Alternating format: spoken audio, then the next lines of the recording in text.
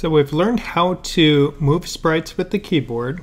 We've learned how to make sprite image sequences and we've studied how to do rectangle intersections. So now we're going to bring all of that together and pick up in the keyboard project where we left off and we'll be adding the images to it. Now if I look in my project folder I will see I have an assets folder and then in the assets folder, I have my skeletons and I have my unicorns. So these are going to be the files that we will be bringing into this project. So I'm just going to position this so that I can see what I'm doing as I want to bring these images in. So the same as every other project, when we are bringing images into our project, what we want to do is load them in the setup. Because once they're loaded in the setup then our individual classes our enemy and player will have access to them. So the first thing we need to do is to load these images into the project. And to do that we will need an array to hold a reference to them so it's an image array, so we're going to put all of the images and the references into an array. Now it's important if you look at it, you'll notice how they are numbered. So we have a numerical sequence in the naming of these, and that's going to be uh, something we have to work with here. So I will have an array of player images, and I will have an array of enemy images. Now we need to populate them. So we want to populate them before we build our instances of our player and enemy because if we don't have these loaded into memory, when player or enemy tries to access the image files, it'll say, hey, what are those? Where are those? I don't know. And it will throw an error message. So order of operation does matter in coding. Uh, instructions are executed in line order. So in this case, we'll load the images so then player can access them. We'll load the images for enemy, then the enemy can access them. So new, and I need to say how many are going to be in this. Now I also want to um, I need two more variables here I'll be working with and these will be int and this will be player frames and enemy frames. So this will be my player frames which currently we haven't defined yet so we do need to give that a value. Well we defined it but it would have a value of zero because we didn't give it a value. And if I look here in that folder, I will see that there are four. I'm going to set the skeleton up as the player, so then that means there are 12 images there. And my, oh, not images, frames, and I forgot an equal sign. And then enemy frames. And in this case, there are 16. We start counting at 0 and it goes all the way up to 15. Started at 0, went to 11 for the player. So there are 16. So once we have populated that, now we are going to fill this array with loading each one of these images. The easiest way to do that will be to use a loop. So we use a for loop. So we start out int i is equal to 0 i is going to be less than player frames and then i plus plus. A couple curly braces, up arrow back into it. So this is the same kind of loop that we would use in, say, the catcher game when we're cycling through all the drops. And we're working with that where we have an array of elements that we're creating, but in this case, we are just loading images. So this is going to be i, it's going to be equal to load image. And the image that we are going to be loading will be in our assets folder. And then the player will be the skeleton. And I will choose NESW for that. Oh, and I also uh, need to then put in the name. So that gives me the folder of assets, the folder that the skeleton's in. Then I need to populate the name. And this is where we have to use some uh, new things that we haven't learned yet. So it's skeleton red eye.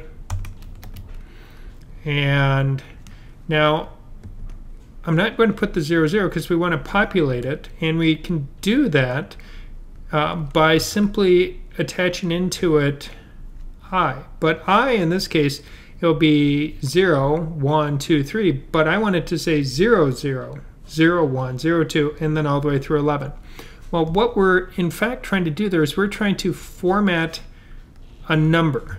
And we can do that by using nf, and then we use what number we're trying to format, and then how many numbers we want it to be. So when we format the number and say 2, that means if I take a 0 and format it to be two places, it will be 0, 0. If I take 1 and format it to be two places, it will be 0, 1. If I take 11 and format it, it will be 11. 10 would be 10. 9 is 0, 9. So it allows it to match what is in the code. Now, if we had, this would work if we go up to 99 images, but sometimes are graphics programs when they create these sprite sequences, it might do four zeros. So it'd be 0, 0, 0, 0, 0, 0, 0, 1. So then our NF, instead of being 2, would be 4. But we're only needing 2. And now if I look at the file name, there's also a dot .png at the end of it. So we have to put all of that in there while we load that image file. And I'll just extend this out so we can see the whole thing. So now we can see it loads that image into our player images. Right now, uh, we are not going to worry about the enemy images. We're just going to load the player images and get that working, and then we can repeat the process with the enemy images. So the first step is to load the player, get it working, because there's no point in putting a bunch of code in for one and finding that we need to change it for the other one. So let's get one working first. Now I can run my program and let's see, and no error messages, so that's good, but we really haven't done anything different yet. We need to now populate that uh, in our player. So when we go into player, we're going to end up needing a couple more variables that we will be keeping track of while we are uh, working here. So the extra variables that we're going to need, we'll be adding them as we go. But the first one I will need to keep track of what is my current frame. So we'll start with that. And then we're going to add them as we go. So now if I go into display here, we'll just go to the end of it. And I'll use my image command. And then I'll grab my player images and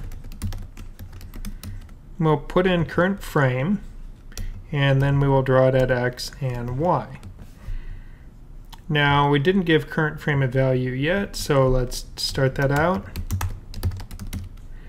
And we'll start out current frame at zero. Now let's run this and see what we get. And we'll see, there it is. Now it's not animating yet.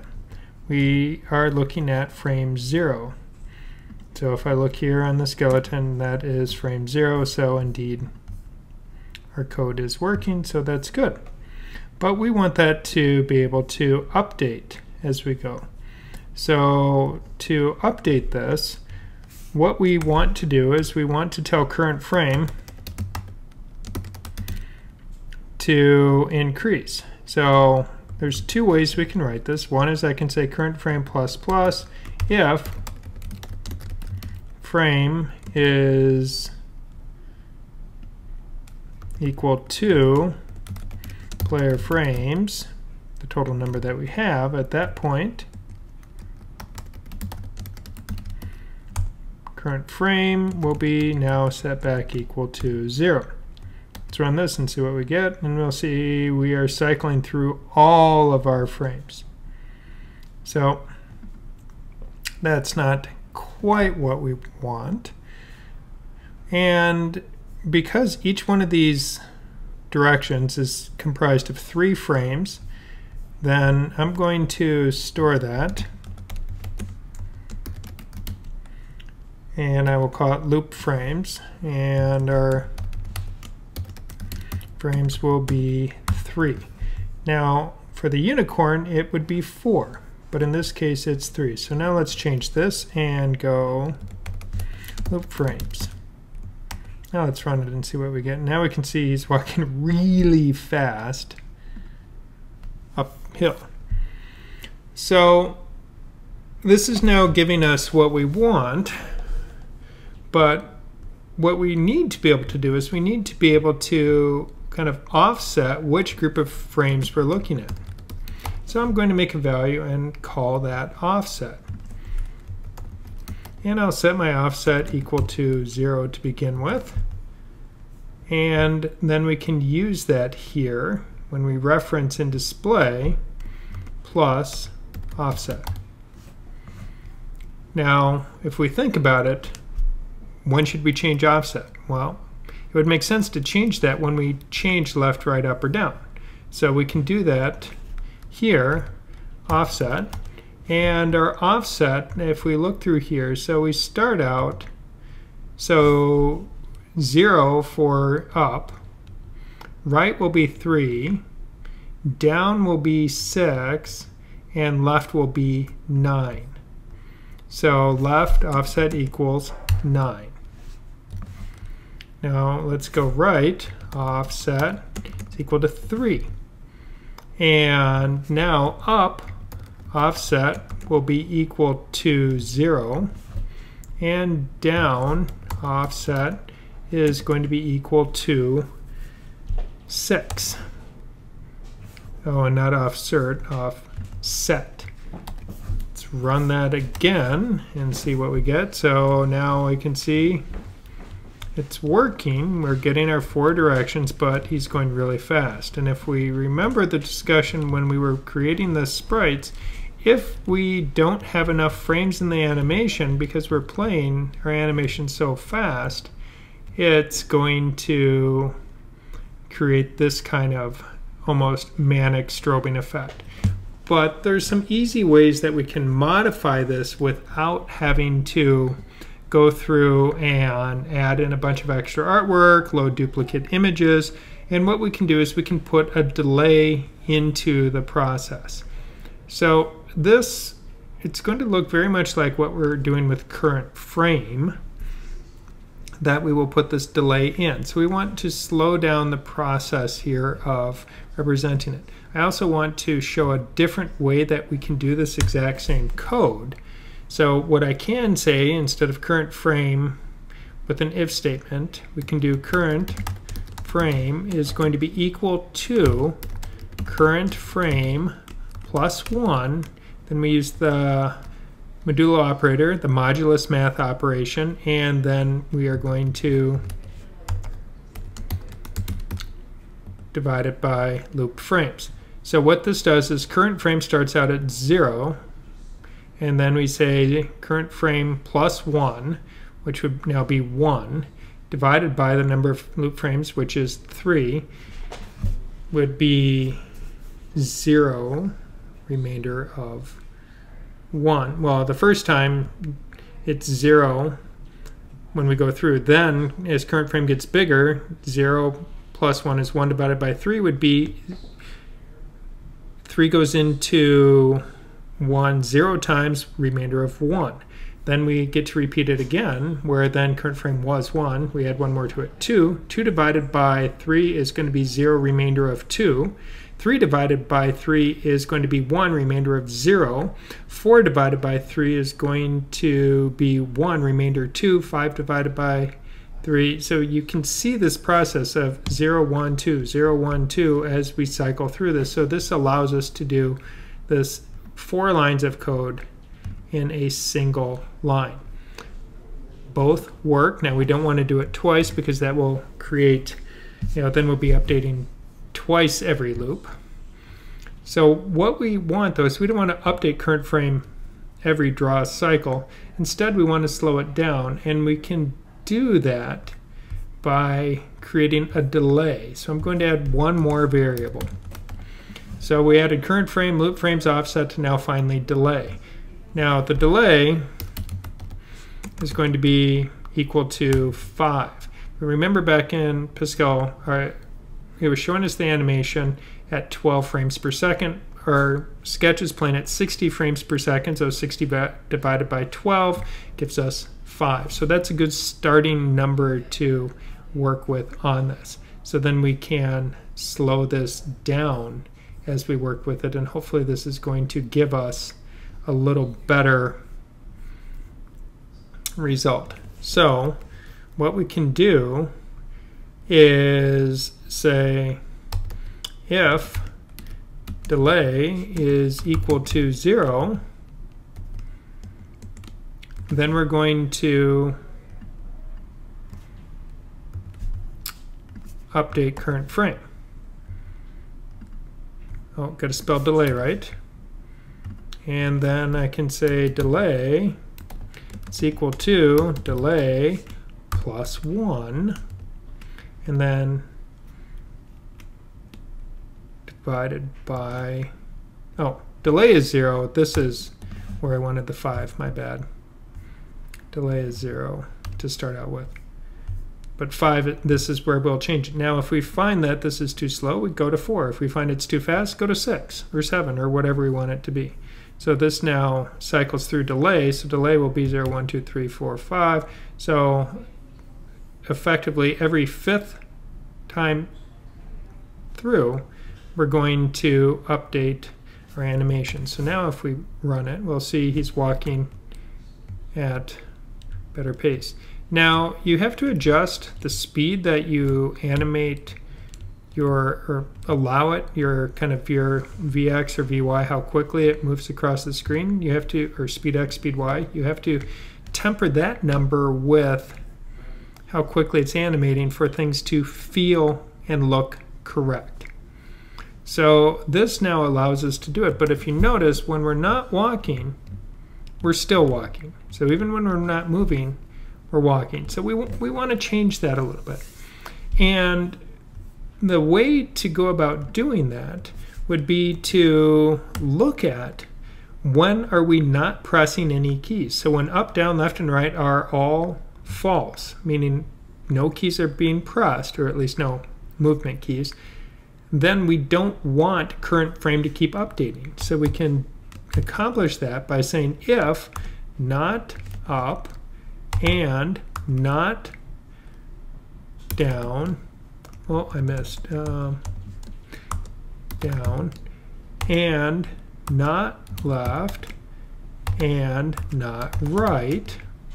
So when all four of those things are true, we want our current frame to be equal to 1. And I chose 1 for a very specific reason and we will look at that in just a moment here as to why. But then I'm going to take all of this code right here. As we're working it with um, the delay and everything else. So cut that out of there paste it in here just take care of the formatting. It's looking good. I probably you know it'd be nice if I'd put some comments in here such as and update. So it's easier to see. And oh, comment comment and no keys.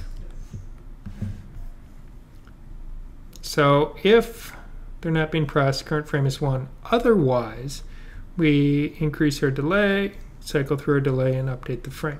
Now I chose 1 because if we look here frame 0 he's walking so frame one is like the neutral position for each movement sequence. So we can see how it corresponds. See there would be frame one and then frame four because if we those seem more like steps so we can figure out which one or frame 5 so we'll set all of those as we work our way through here but first let's see if this is working. It's not walking. Okay good.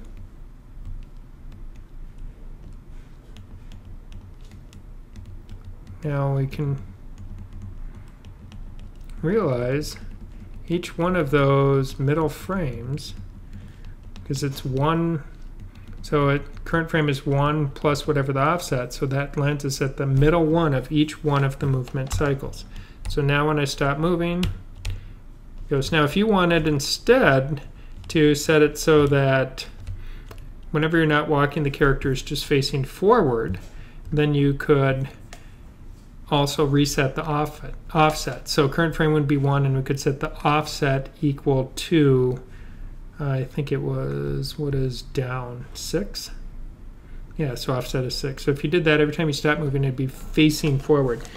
Now you could also, instead of stopping the animation, if you had a standing animation, so an idle animation, then you could be telling that to play instead. So that would be you know, one more thing you could work into this. We just chose not to do that on this particular project. So with this, we're in pretty good shape. The player is now animating. I can walk in my four directions. When I stop, the player stops animating. So think we're in good shape, but if you notice the red square is what we've set for the height and width. So we probably do need to adjust the size of that a little bit. And if we go up into height and width, well, the width here was 44 and, er, and the height was 64. So now let's run it and see what it looks like. Now we can see there is the box that was set for the player as they're moving. So the next step will be to repeat this process, but with the frames for the unicorn. So with the player working, it's time to repeat the process for the enemy. So before we add code into the enemy class, let's go back into our main code and see enemy frames, player images. All right, so all of this now needs to repeat, but for the unicorn. And let's just open back up our folder and we can see, so it's going to be assets unicorn and we can see the naming structure that happens with that. So to continue the process, now at this point it will be enemy frames is going to be equal to new image and this enemy frames. So that now populates our array, our array. Um, oh, enemy frames can't be equal to that, it's enemy images starting to think I need to rethink the names because I've messed those up a few times. And we'll use a for loop to cycle through it again. This time though I'm going to use a different iterator. Instead of i, I will use j.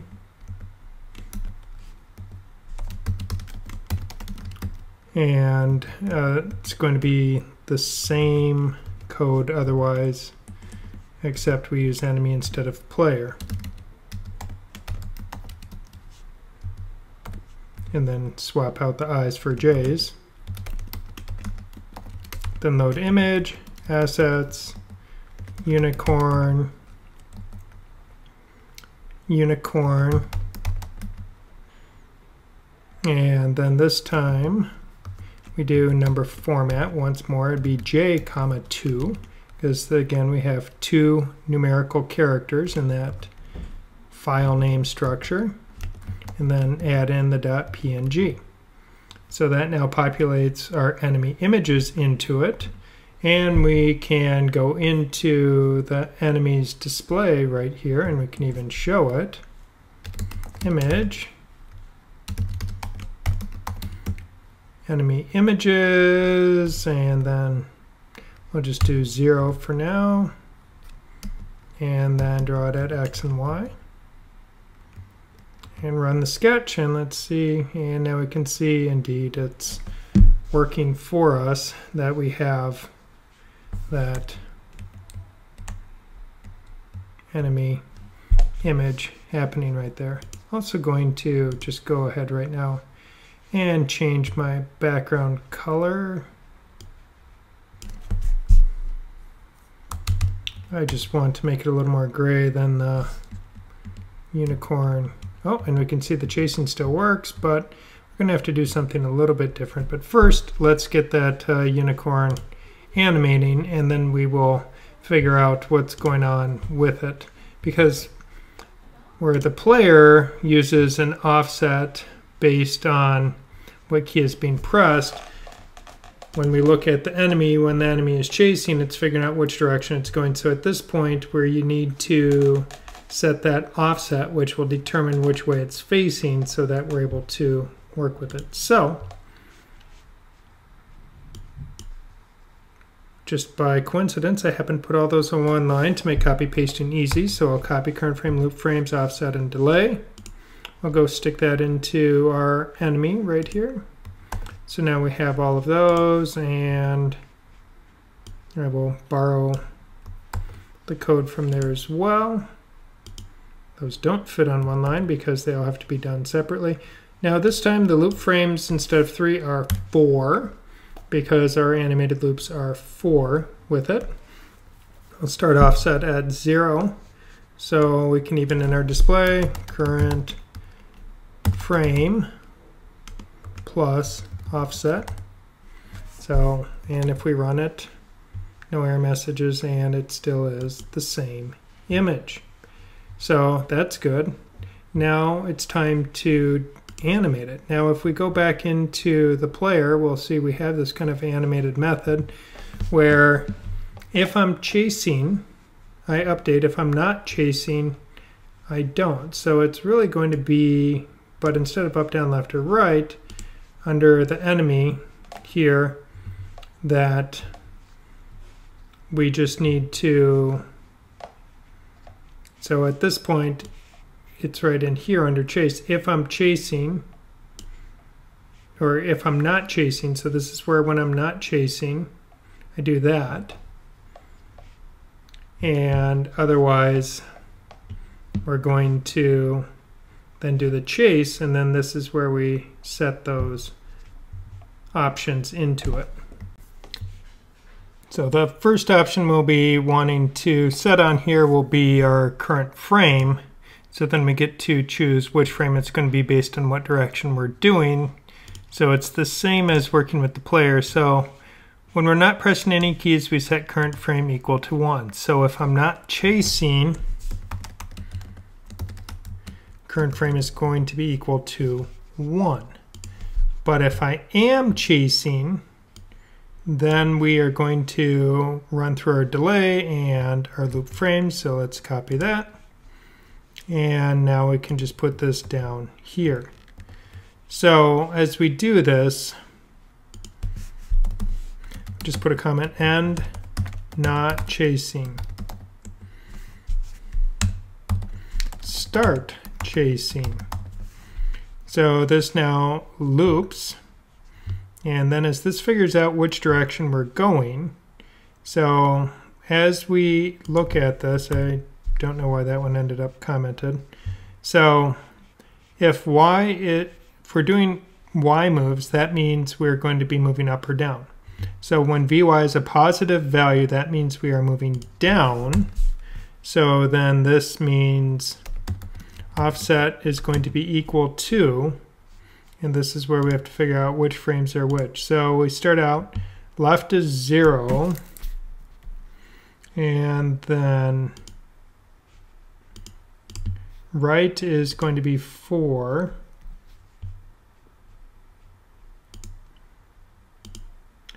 And 8 will be up and down should be 12 because we go up, down.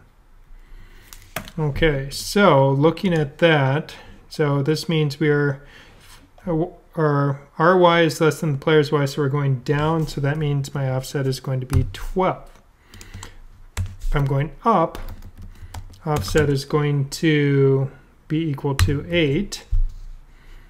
And if I have a positive vx, so that means I'm moving to the right, so that means offset is going to be equal to 4. And if I'm going left, offset is going to be equal to 0. So that now gives us our offsets. So then it can animate when we are close. Uh, looks like uh, I went backwards on my up and downs. Whoops. Oh, it happens. Easy enough. So, oh, because x is so we're going to the right, and that was 0, and when we're going to the left, so I went with pointing, yeah, uh, 4. Now let's try and run this again. Okay, so now we can see it's chasing us, chasing us, chasing. Now at the 45, it's a little bit awkward when it does that, when it's trying to close that, but otherwise it seems to be working pretty good. So we're making good progress on that. It does seem that this one, because there's more frames, probably don't need the delay of 5. Let's switch that down to a 3 and see. And now that, that just feels a little snappier as part of it. So I like how that's starting to move. Now we can see that I have not corrected for the width and height. Now the graphics technically were 64 by 64.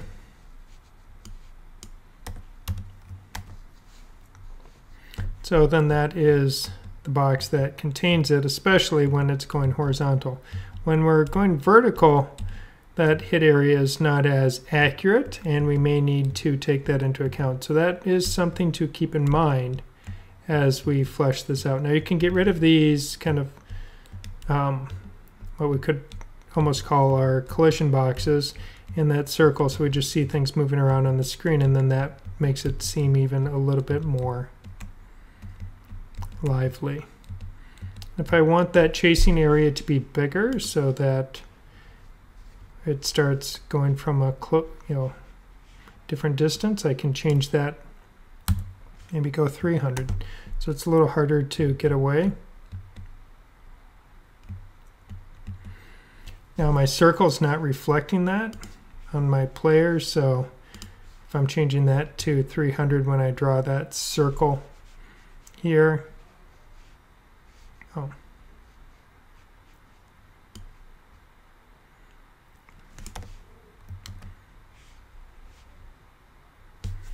So we can see that is now the circle we're working with. So radius of 300 where the circle I drew has a diameter of 600. All right, so got some chasing going on. We got some magic happening. If we don't want to see those boxes, of course, you just hide that and hide that. And now, and now this is using, you know,